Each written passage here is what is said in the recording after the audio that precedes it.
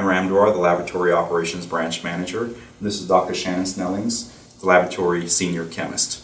And we're here to, today to give a tour of the laboratory and uh, give you guys a, a sense of what uh, this uh, laboratory will be doing to support the PCAPP project. So the laboratory size is about 7,000 square feet. The, the laboratory was actually built in Georgia in modular sections and in December of 2010 the, those 11 or 12 modular sections were shipped across country on flatbed trucks.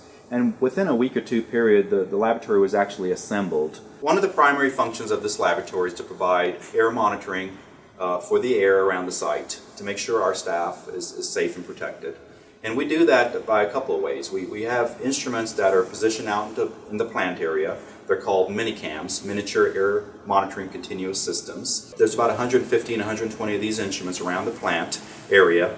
Um, there's actually not many areas you can walk into in the plant area where there's not a minicams monitoring the location you're actually standing. And uh, these instruments again take a sample every five minutes, analyze it, and produces a result.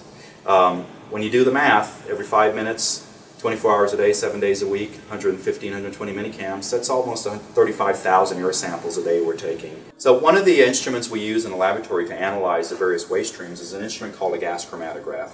Um, many, you may have seen a gas chromatograph on television shows such as uh, CSI, Crime Scene Investigation Units. And um, it's, a, it's an exact same type of unit. Um, it, it, looks for different uh, compounds in, in a sample. Hello there, I'm Shannon Snellings. I am senior chemist here at the laboratory. One of my jobs is to take the samples from the different sites and analyze them for mustard. One of the key things that I do is make sure that those methods can detect mustard in the presence of interfering compounds. So the laboratory at full complement will have about 190 staff members working in the lab. Now that may seem like a lot when, um, when you look at the size of our building, which is about 7,000 square feet. But just remember, we are working a 24-7 operations out here. So we actually operate this laboratory with four shifts of staff members. So we cover a 24-hour uh, schedule.